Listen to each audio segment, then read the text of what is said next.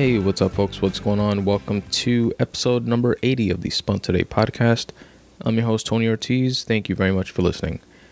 This episode is brought to you in part by Amazon.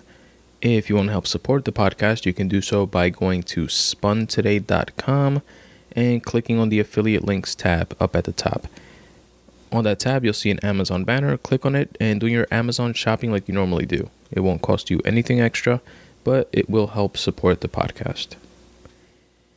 In this episode, I speak about the KOTD Rap Battle Mass 3 event, watching two movies uh, Guardians of the Galaxy 2 and Girls Trip. I also speak about the protests in Charlottesville, Virginia, over the removal of a statue that was memorializing the Confederacy's top general, Robert E. Lee. I then speak about Solar Eclipse 2017, and lastly, the bout between Mayweather McGregor. So stick around, got some dope shit in this episode. Alright, so first off, I fell off a little bit from like the whole rap battle scene. I see some sporadically still, you know, I watch them, but I've been out of the loop for a couple months. And I came back to a bunch of good battles, actually. There, something, the first thing that caught my eye was a, and I, and I like the concept of this because it builds up like the momentum, uh, the momentum and excitement of the genre, as well as uh, hyping up the next battle because I want to see like the full version of. It's something called a secret battle, where you know it's one of their events. It's like a pay per view event, you know, similar to let's say like a UFC has a a pay per view event, right? And they have a, a headliner, you know, the the main event and then the co-main event, and then they have a, uh, a bunch of other like fights underneath. The rap battles are following like that same formula, that same format. So there's a bunch of battles on the card, and the main event, etc. But they introduced something called a secret battle, and this well, this is the first time that I saw it. I'm not sure if it's if if it was the introductory, you know, um, first time for them uh, actually doing it but it's where nobody knows who they are. It's two uh, battle rappers, obviously, and they go on stage. They have masks on. Um, they darken the room until they're on the stage, and then when they're on the on the stage, you know they bring the lights back up and they take off the masks, and you see who they are. And it was cool. You know, everybody got excited, especially because it was like two big names, and it was Dizaster and Hollow Da Don, and um what's cool is that it's only a one round battle. So each one gets a turn, and one round battles are common, but um, not in in this way. This these are this was a one round battle that's set that's like a preview, if you will, to a full battle. They're gonna have a full battle, which is uh, three rounds. So you know each one takes a turn, back and forth, back and forth, back and forth, um, for a total of three three rounds. Uh, but this is a one rounder and serves as a preview. And I thought it was pretty cool. You know, it built up the excitement. It was you know two two of the top tier uh, battle rappers in in the game, and um, and it was pretty dope. I like that.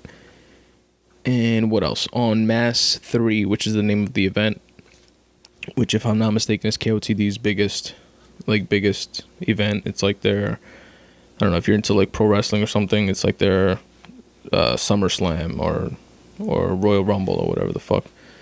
Or, you know, it's like their Super Bowl event. And it's like their big card, basically. They had another dope battle, which was Pat Stay versus Bigg K. And I gave it to Bigg K, um, mainly because uh, Pat Stay slipped slipped up a bit. And K was was more aggressive, like he usually is. And Pat was funnier, like he usually is and um, it, it was a dope battle. Though. It was enjoyable.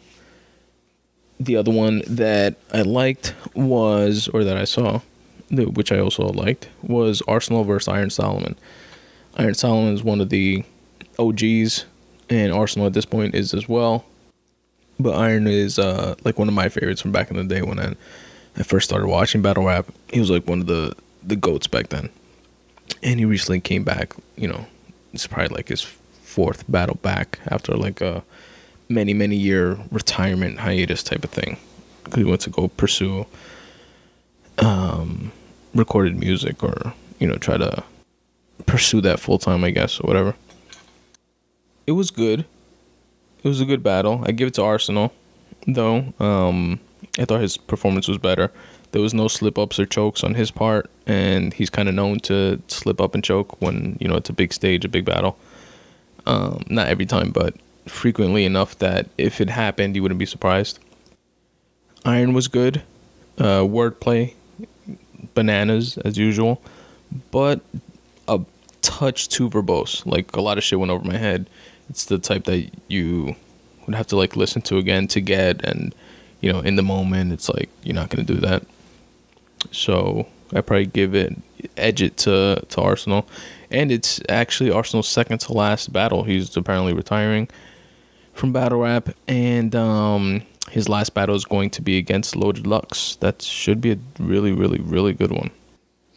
I'll link to uh, each of these battles in separately in the episode notes, or if you want to go to spuntoday.com forward slash podcast forward slash 80 or 080, you can see all the episode notes there. Um, or, you know, if you're just listening to this on your iPhone or Android or whatever app you use to listen to podcasts, it'll be right there in the episode notes for you to check them out. If you're not into battle rap or whatever, then obviously don't check them out. But I would say just look at the first like two or three minutes of the Dizaster versus Hollow Da Don uh, battle. That's the one that I that I said had that new cool twist to it with the secret battle thing, and um, I thought that was dope. So just check that out and see what you think about that.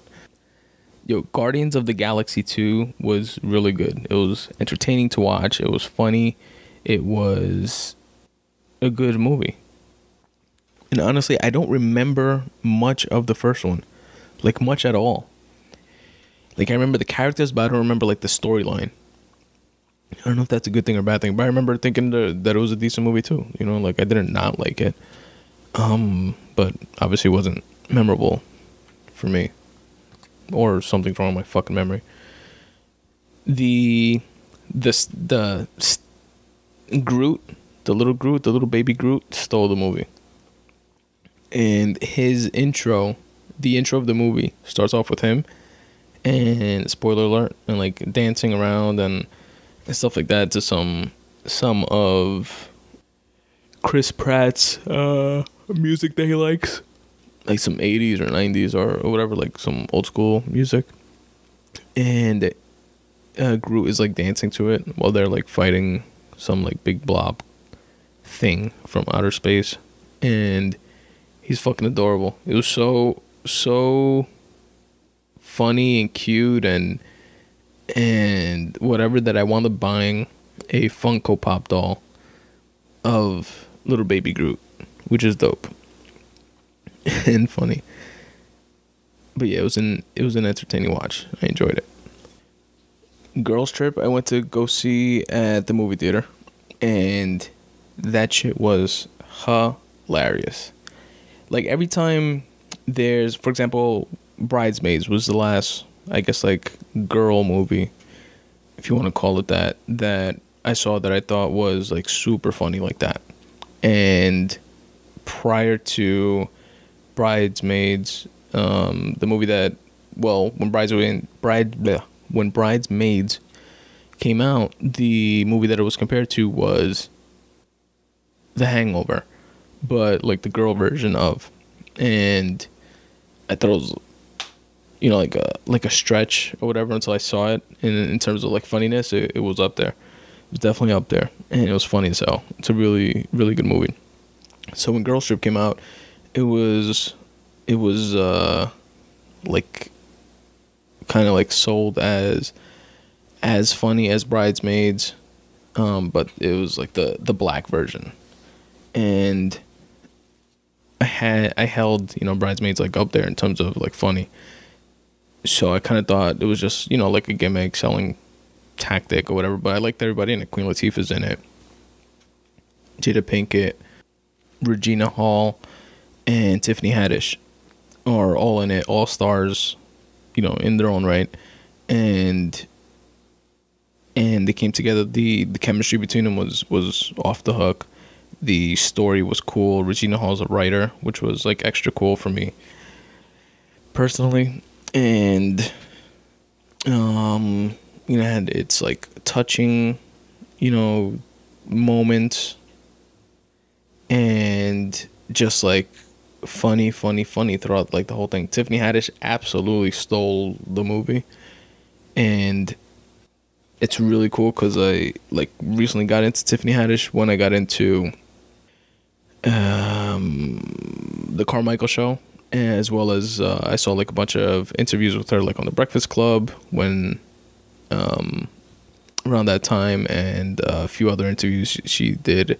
Tony Rock's podcast uh, with Lil Rel on it as well, and she had done like back in the day be- before I knew who she was. I like I knew she was a, a stand-up comic and a comedy store comic because I had heard her in on like the Ice House Chronicles in the green room of, of the comedy of the Ice House and like stuff like that. And I grew to like her, so I wanted like this movie to be, you know, good that much more. And it absolutely was. Like it literally was laugh out loud funny. Like I was in the movie theater laughing out loud. You know, it's a quote unquote black movie. Um, I guess because the majority of the cast is black and so the the majority of the people that are not so, but the majority of the people that are watching it were also black, and you know the the stereotype of you know black people when they watch movies they they uh, you know talk through them and you know laugh out loud and like stuff like that. That's true, and um, so I don't know if that had uh, something to do with me laughing out loud, like in the in the movie theater, but um regardless, it was just fucking hilarious. And Tiffany Haddish actually has a comedy special out on Showtime, if I'm not mistaken, which I have not seen yet, but I plan to, and I'll um, tell you guys about it when I do. But regardless of all that, Girls Trip is also killing it in the box office. I think it's grossed like over a hundred million as of the date that I'm recording this podcast, which is August 22nd, 2017. So that's dope, man. It's really, really good for them. All right, now Charlottesville, Virginia, had some some protests by some white nationalist Nazi fucks that by now I'm sure you all have heard were thugging it out with their tiki torches, Polynesian quote unquote tiki torches from from Home Depot that they purchased. There's several important takeaways, at least in my opinion, from what happened in Charlottesville. First and foremost, someone died. A 32 year old white woman was killed because a 20 year old protester, white kid, that apparently couldn't manifest his emotions in any other way, decided to get into his car and run over a group of people that were protesting against the white nationalist protesters. He was that he was later arrested and sentenced with uh, charged with rather uh, second degree murder. Which again, I've said it before, I'll say it again. Like the degrees and you know, technically this, technically that. A piece of shit like that should just get literally like I don't know, him to like Kim Jong Un now and let him like sick the dogs that he used to kill his his uncle or some shit on this fucking retard that killed a woman as well as injured 19 others. Also, which has gotten like less coverage, two police officers were killed in a helicopter crash outside of Charlottesville because they were and they were monitoring it was because of the protest. They were monitoring the protest from above. Our orange not so much in the closet anymore neo-Nazi president has been deservingly criticized for not immediately saying that what the white nationals are like preaching and doing and saying and that the acts that that uh, transpired in Charlottesville should be condemned, etc., etc. His take on the whole shit was that there was blame to go around on all sides uh, because there were the protesters that were there, and then the anti-protesters, um, people that were against these these like Nazis or whatever you want to call them, or white nationalists rather. Because I do get like the argument for like not calling them Nazis because they're well, I, I actually no. Well, the argument is you know not to throw around the word Nazi too much because you water down the word, and then when it actually really should apply, it doesn't really mean what it you know it doesn't have like that oomph behind it. But these are you know like neo-Nazi wannabe fucks. They were there protesting the removal of a statue that was in the center of a town hall across the street from a the a courthouse. And the statue was or is rather of the Confederacy's top general, Robert E. Lee. So, Robert E. Lee was the head of the uh, Confederate Army, which was the Army of the South uh, that fought against the North during the Civil War. And they were fighting mainly, regardless of how you window dress it, to keep slavery going. So, the statue in the middle of the town, in front of a courthouse, memorializing him is understandably disturbing. Clearly, not to all, but to some. The best way I could describe it is by paraphrasing a woman that testified in front of Charlottesville's uh, city council when they were deciding if they were going to take the statue down or not. And she said something to the effect of Imagine that you had an oppressor, your family, your your your parents, your great grandparents, uh, for generations had this oppressor that beat and raped and just diminished your existence in that way, tortured your family for years and years and years 400 years. And they had a statue of this person, this entity, this being, or of that ideology because that's what it becomes after that amount of time, right? In the center of the city where you live. Like that has to fuck with you. I added the it has to fuck with you part. So the story of how of why it was decided to get taken off is is something that resonated with me because it's a good it's I guess like a silver lining, like a positive, a small positive, in not in what happened obviously because this predates what happened, but just in in the system as a whole, the political system as a whole. A young girl in college, a college student, petitioned the city council by gathering uh, hundreds of signatures in favor of taking down that statue. Now, it's not the first statue that has been taken down. There have been several other other Confederate memorializing statues taken down throughout the South in similar manners and like Confederate flags that were hoisted on government buildings and, and stuff like that. If you I'm sure you guys will like remember that controversy. And this is this is one that was petitioned by a college student, you know, a citizen saw something that she didn't like, decided to collect some signatures, take it to the city council, voice her opinion, and it worked. The city council heard her and the uh, clear leverage that she had in the hundreds of signatures of uh, potential voters that can vote them in and in or out of office. So they have to, you know, paid attention in that sense and they created a committee to review the situation and eventually voted to remove the statue.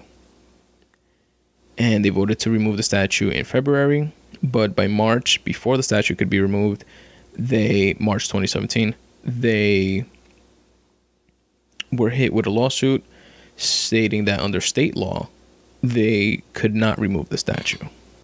So the tensions continued to develop in Charlottesville And this eventual protest, as kind of like a last stand to stop the statue from from getting taken down, this process is a result of that, right? And in terms of the the statue in and of itself getting taken down, I I was kind of torn on that because part of me is like you can't rewrite history. You can't and you shouldn't want to. You shouldn't want to, you know, sugarcoat and erase the past and you know, for generations moving forward act as if certain things didn't exist. You know, you know, we have enough whitewashing of history where, you know, stories of minority minorities aren't told to the same degree that that stories of whites are, for example. And we don't want to now add another layer of, you know, pussifying history or or, you know, sugarcoating it or you know, super PCing it. History's history. It's what happened. We need to be reminded of what happened. We shouldn't forget what happens to avoid it happening again. So there's a part of me that's like, you know, it's statues shouldn't just be taken down in a way that you're going to erase and forget about history.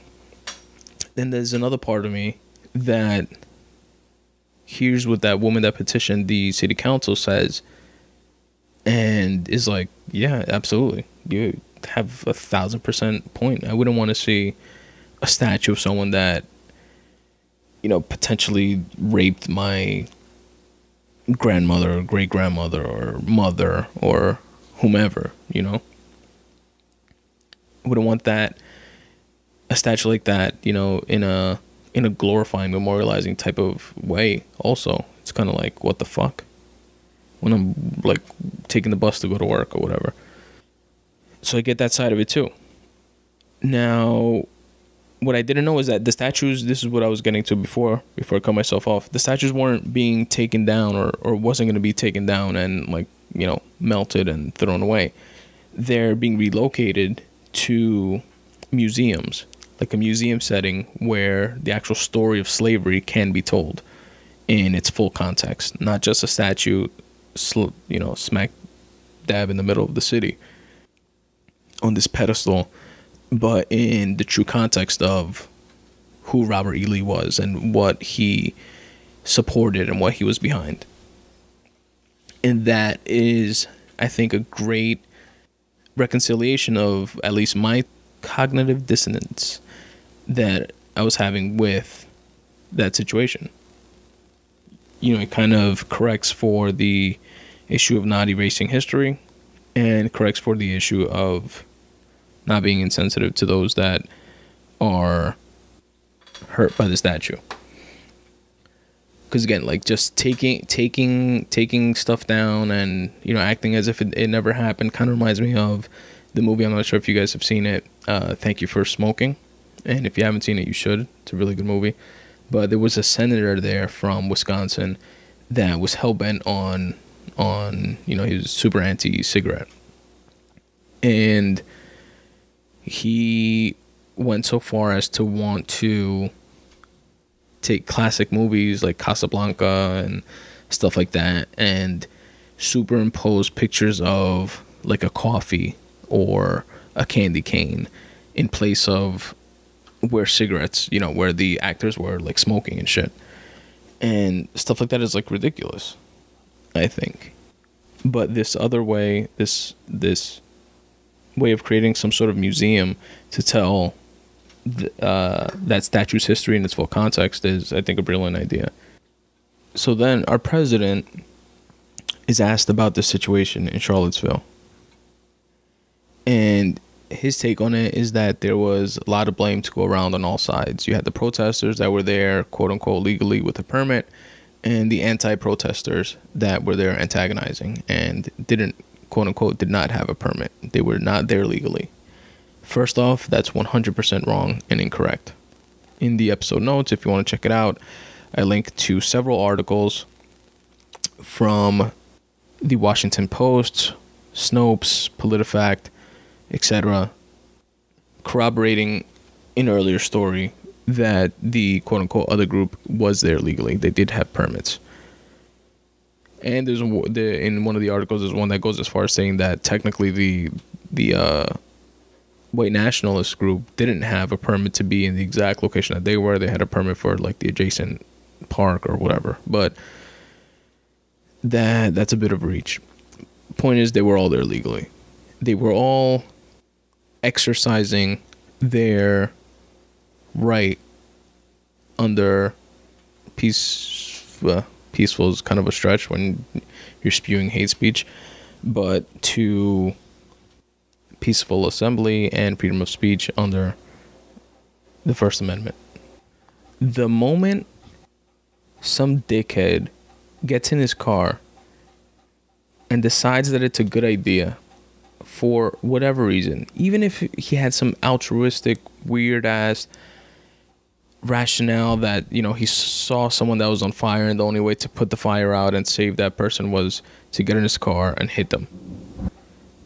Literally, no matter what, no matter what's going on, no matter what the situation, the moment he decides to get in his car and run over dozens of people, not even factoring the fact that he injured 19 and killed one, that's wrong. That's not okay. There's no scenario where that's going to be a tolerable act. We already know that six months in, Trump isn't a, an effective president. But his response to what happened in Charlottesville spoke more to who he is as a person and as a leader than I think anything that he's done to date. You know, all the pussy grabbing statements and the self aggrandizing and lies and bullshit. This did more than any of the, and anything prior, in my opinion the moment your initial immediate gut reaction as a president is not to speak up against those acts, you're emboldening more of those acts. You're creating more of a volatile situation in a country that's already seeing a larger divide than in years past and where racial tensions are percolating. You're literally feeding that type of behavior. Vice did an and this, this shit has like a ripple effect. Vice did a a piece on some German protests where the acts of Charlottesville had uh, neo Nazis doing like some yearly protest that they have, or the or yearly march that they have. They were emboldened by the acts of Charlottesville. I just don't get how someone's ego and narcissism and like isn't is like greater than the regard for others or the well-being of the country as a whole and the world even. Like the presidency of the United States can't even humble this motherfucker. And I've said it before and I'll say it again Trump is my president. He's our president in that we voted him into into office, and I believe in the political system. You know, it's it's broken and needs updating, and I believe in following the the process that we have in place and working from within to build it out, etc. But he's my president in the way that any man can be a daddy, but not necessarily a father. You know, like a deadbeat dad kind of thing. He's a deadbeat president. He's my president in the way that a druggy sibling that steals and beats family members is only a sibling by blood and nothing else. You know what I mean? It's like you're technically our president, motherfucker, but you're not our president. You don't represent us. And the funny thing is that you don't even represent them, do you? You are placating and emboldening this base that got you elected, but it's all for personal gain. I know your type. I know, like firsthand, the cloth that you're that you're cut from. The moment that it's not beneficial for you to continue propping up these white nationalist whack jobs. You'll flip on them like that. Probably around when it gets closer to election time and shit like that. Wouldn't be surprised. Re election time, if you don't quit before then, because there's bitch in you. It's just sad. It really does seem like a like sad existence. But rest in peace to those that lost their lives in Charlottesville. Fuck you to those that preach or boast or embolden the violent acts. On a lighter note, America went dark for part of the day the other day. Uh, Eclipse 2017. I think it was called. I read. I read in a couple places it being referenced to as the Great American Eclipse. Um, it's. I'm not sure if that was the official name for it, but at least on NASA's website, it's called the the uh, I don't know 2017 eclipse. Eclipse 2017, and it's not that eclipses are so rare. They happen like every every few years, but this particular type of eclipse that that you could see that I, I, guess maybe this is why they're referencing as the Great American Eclipse that it was going from one side of of the U.S. to the other, um, and and could be seen, you know, across the entire U.S. from Oregon down to I think South Carolina. Like it took that trajectory from like coast to coast. Um, that type of eclipse happens uh, more sporadically, just to give you an idea. Uh, this one happened in 2017 and the next one is supposed to be in 2024 and then the one after that is supposed to be in 2049 and it was a tuesday. I was uh, not a tuesday. Today's tuesday august 22nd when i'm recording this and the eclipse was yesterday august 21st 2017 and i was at work and they reached new york. I was like like i had youtube playing on one of my one of my screens you know uh, one of the corners of my screens and I watched uh, when it passed. Somebody was live streaming, and I watched when it passed uh, Wyoming. I want to say, yeah, it was Wyoming, and it was pretty cool. And um, then when it got to around New York, which was around like two o'clock ish, two twenty ish, and uh, we couldn't see anything. We we saw, you know, we're in the city, so a lot of tall buildings. Don't really see the sun, but we saw it getting a little darker, at least by uh, the windows that were on my side of the building, and then we found out that on the other side of of the office, the um, somebody had brought one of those glasses that looked like those 3D 80s glasses from back in the day. And um, that the sun was like directly overhead on the left side of the building.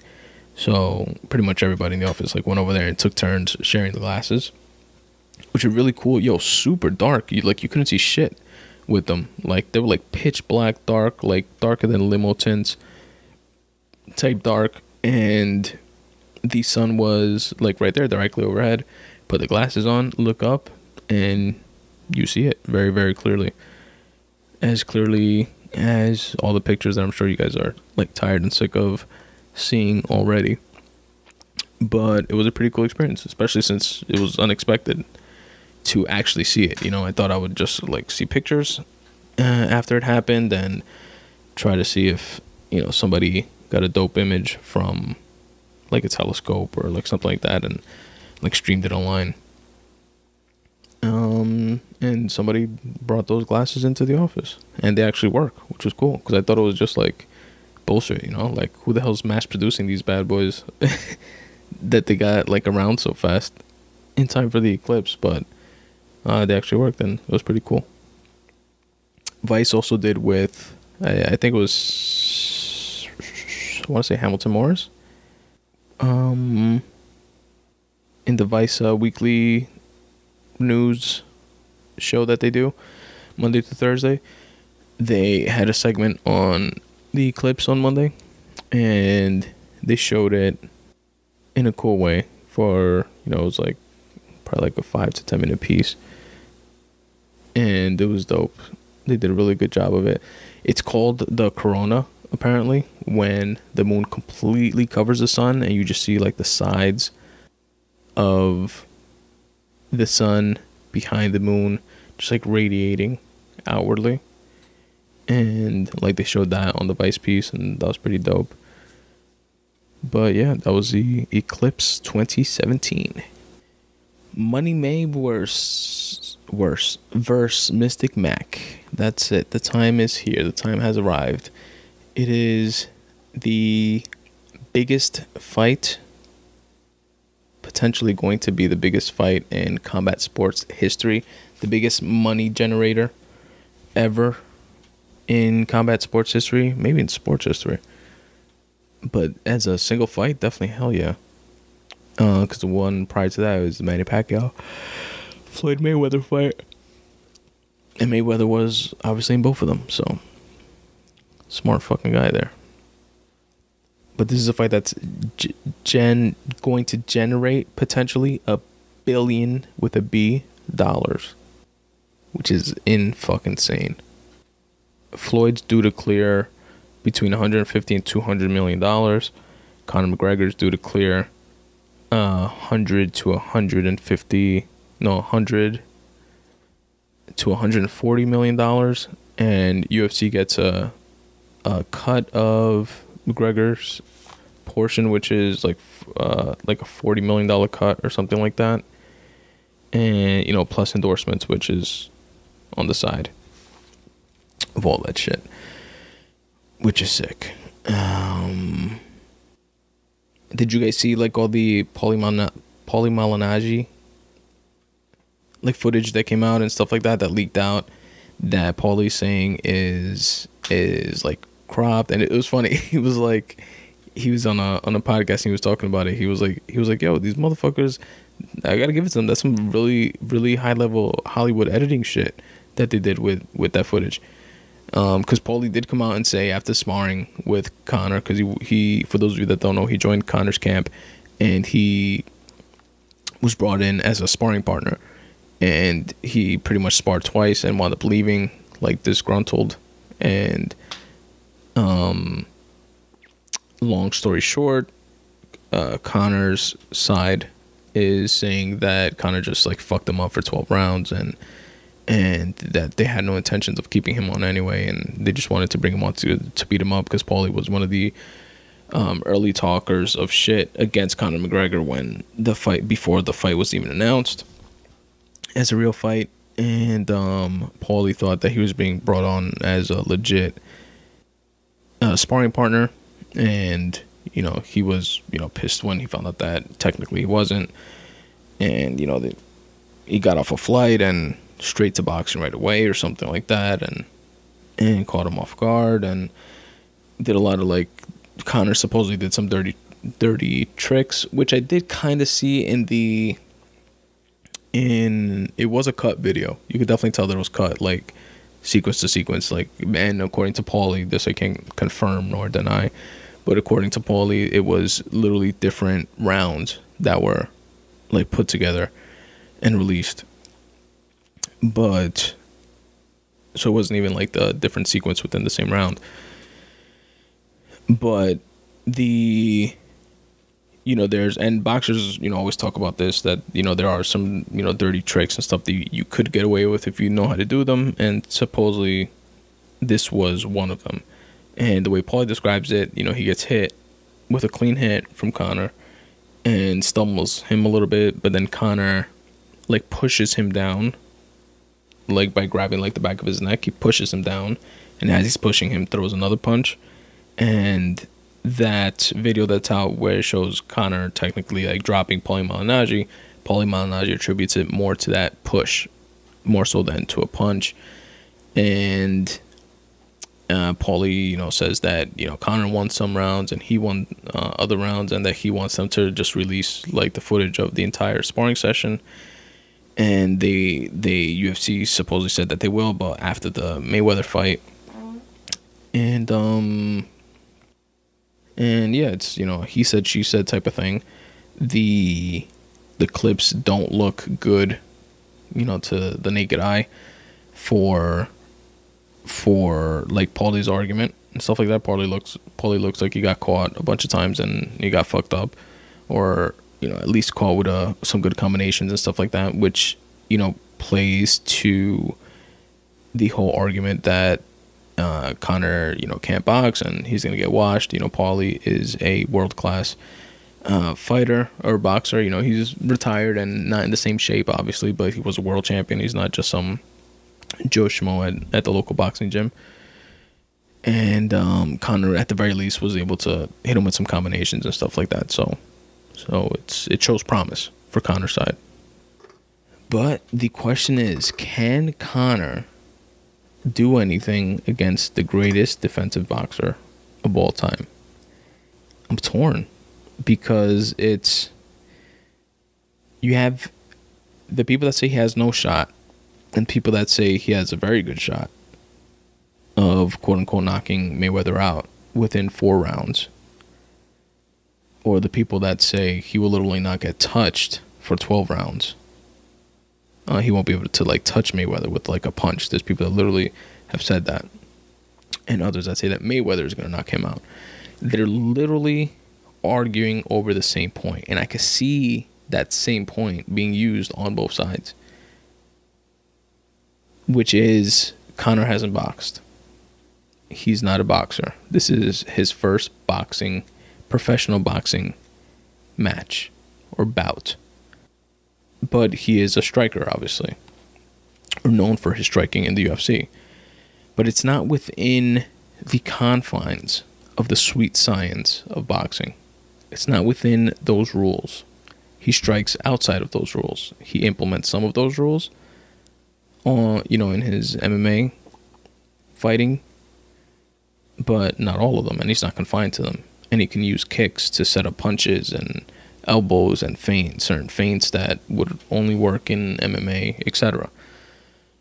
So the question is is his style going to be so unorthodox that Mayweather can't download and under and interpret and understand his style to the point where he can do his wizardry of you know shucking and jiving and dodging all of his punches. Is his style going to be so unorthodox that Mayweather's just not going to know or understand or be able to maneuver, which will then obviously cause him to get caught and knocked out by Conor McGregor? Or is the fact that he's so unorthodox and not within the confines of the rules of the sweet science against the master of that sweet science, is he going to get so schooled because he's going to be like a fish out of water type of, I don't know what I'm doing type of thing. So this guy that knows what he's doing is going to school shit out of me. I don't know. But the answer to that question will be answered August 26th. Well, I'm going to be in Caroline's on Broadway watching Russell Peters tell jokes and missing the fight, but we'll see it after. And I know it's going to be entertaining, at least, and I know a lot of motherfuckers are going to tune in. I will be very surprised if this fight does not break records. But we'll see what happens. And that's it, folks. That's all I got for you guys.